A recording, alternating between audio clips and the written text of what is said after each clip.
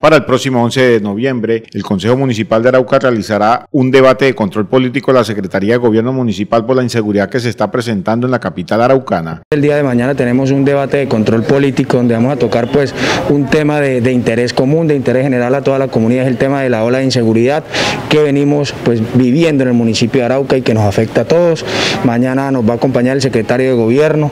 que es la persona encargada de la cartera de, de, de la seguridad y convivencia del municipio de Arauca y por supuesto la fuerza pública para que nos explique a los araucanos qué medidas se van a tomar para tener resultados a corto plazo. Yo pienso, Carlos, que necesitamos ver resultados inmediatos para que la comunidad vuelva a sentir esa tranquilidad y, y, y, y más ahorita en estas vísperas de, de, Navidad, donde lo que más pedimos a gritos es estar tranquilos con nuestras familias, Carlos. Los concejales del municipio de Arauca buscan mañana que la Secretaría de Gobierno entregue un balance de todo y sobre todo lo que ha invertido en materia de seguridad. Vamos a indagarle a la Secretaría de Gobierno, a la Administración Municipal, cómo vienen trabajando de manera conjunta con las diferentes instituciones, cuál es ese trabajo articulado que se ha realizado para mitigar este impacto y esta ola de inseguridad que venimos viviendo. Eh, si bien es cierto, también queremos saber qué recursos se han invertido desde esta cartera para, para implementar estrategias y medidas que, que puedan llegar a, a un feliz término en cuanto a seguridad. Según el concejal de Arauca, Juan José Ramírez, los recursos que están por el Fondo de Seguridad se deben de invertir en tecnologías. Es un compromiso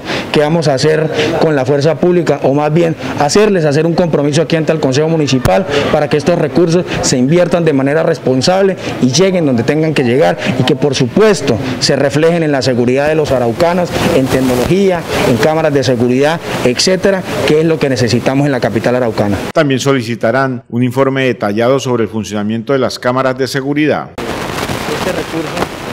son casi 3 mil millones de pesos, Carlos, creo que es una, una, un rubro bastante importante para que